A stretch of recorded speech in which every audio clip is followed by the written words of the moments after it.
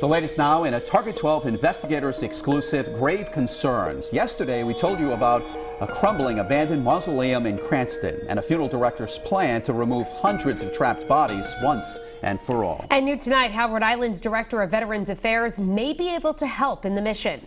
Target 12 investigator Susan Campbell is here now with the new details. The director of Veterans Affairs tells me any veterans who may be interred in the mausoleum deserve a proper final resting place. There are hundreds of bodies in this crumbling mausoleum.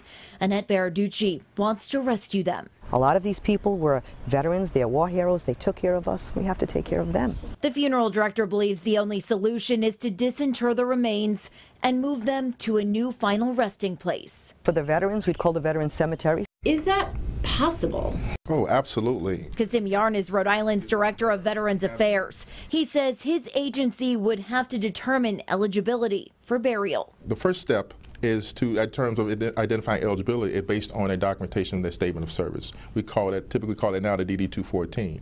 Uh, if we don't have really access to those documents, then we will utilize our resources to go out and, and canvass the archives. But finding the necessary paperwork may prove to be a challenge.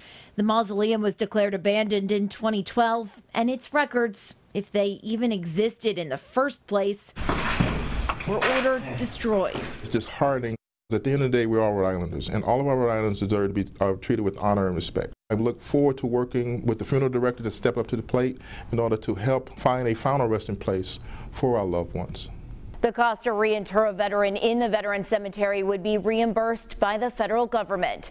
With the Target 12 investigator Susan Campbell, Eyewitness News.